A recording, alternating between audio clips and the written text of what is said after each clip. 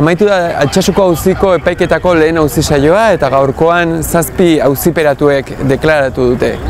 Amaitu berritan lehenik eta behin komentario e, orokor bat, ez? E, gaurkoan bost orduko saioaren ostean argi geratu dena da ez gaudela en, gertaera larri baten aurrean gaur ez baitira hitz egin ez bombez, ez, ez atentatu batez, ez olako kontu ez. Gaur urriaren amaosteko goizaldean altxasun, izan ziteken beste herri bat, baina altxasun, gaugiro batean, jaigiroan izan dako liskar baten inguru, inguruan e, xetasun ugari eman dituzte ba, auziperatuek.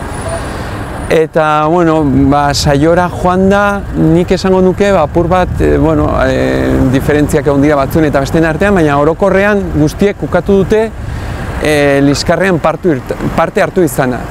Zenbait une hartan edo ondoren koskan egon ziren, beste batzuk ez ziren koskan egon, e, batzuk liskarraren ondoren gertatutakoa gertutik jarraitu zuten, besteak, besteak ez denan, baina bueno, funtsean e, guztiek ukatu dute liskarrean parte hartu izana.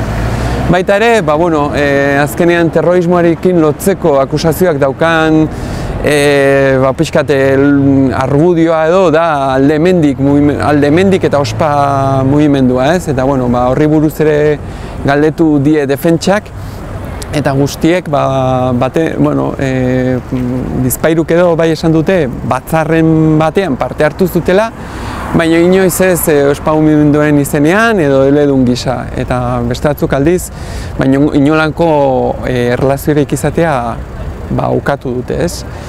Eta, bueno, e, bukaeran ateratakoan familiar batek azpimarratu bezala, gaur izan da lehen aldia, euren bertsioa e, auzitegi batean eman izan dutena, ez? Eta, bueno, ba, eszenario, e, ez dakit, e, e, ziurrenik ez da eszenario hori, bueno, ba, pixkat, baina, bueno, garrantzitsua da eurentzat, ba, ba, bueno, ba, beraien bertsioa eman izatea, eta bueno, kontuan euki bar dugu ere hemen asko dutela jokoan, ez? Azken finean 375 urteko espetxe zigorra eskatzen du akusazioak.